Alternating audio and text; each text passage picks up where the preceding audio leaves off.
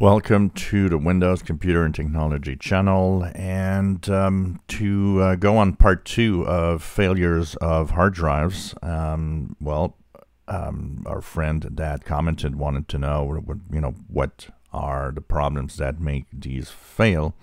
One of the more puzzling fails for him is the fact that an SSD failed on a couple of his computers. He had to replace the solid state drives.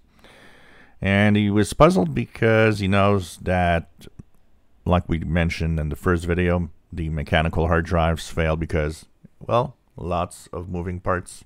So over the years and over time, it fails because of the moving parts that wear down.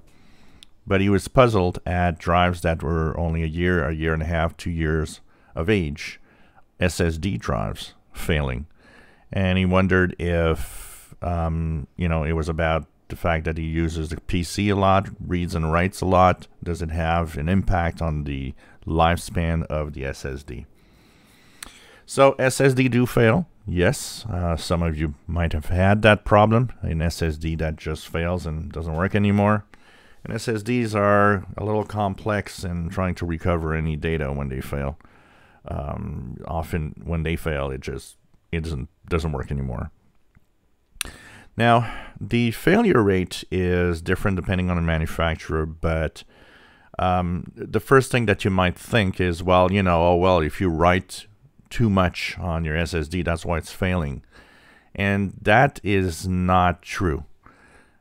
Yes, there is a limit of writes on a cell inside an SSD.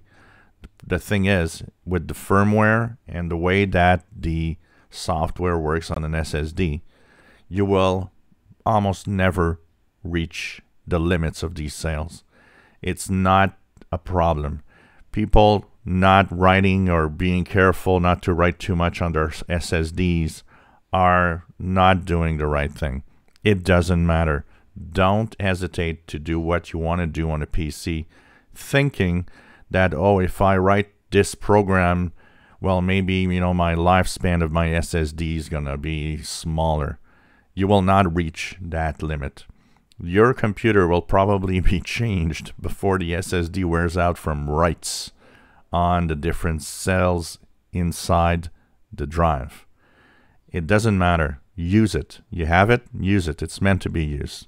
You know, uh, install, uninstall, it doesn't matter. Install Windows 100 times a year if you want. It doesn't matter. You will not reach the limits of the SSD in the writes. That's not where the problem is. The problem lies more in the electronics and the fact that chips can fail. And an SSD, depending on how it's built, can sometimes become very hot. And this is where the failures probably happen the most. Um, it seems that the controllers and the chips that become too hot make some SSDs fail faster than others. So I would suggest if you are in the market for an SSD and want to be careful what to choose, maybe search for failure rates of SSDs and see which ones are more robust than others. But it mostly has to do with some part or some chip failure, often because of very high heat. Uh, these are, you know, cramped jammed in small spaces very often, like a laptop.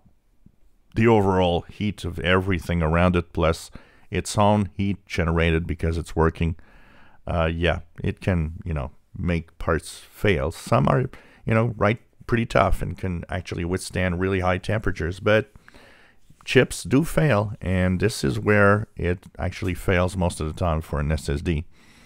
Is one chip just fails and the SSD doesn't work anymore. Um, most SSD failures are sudden. So it's not like a mechanical hard drive. Um, you know, half of the time you might have a warning sign and it's actually going to be slower or there's going to be some errors or things are going to just be weird.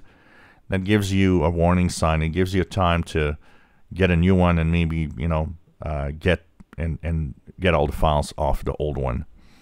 But in the case of a SSD, most failures are, you know, you turn on the PC and it just doesn't work anymore. Unfortunately, it's much more drastic most of the time. If you enjoy my videos, please subscribe, give us thumbs up, and thank you for watching our videos.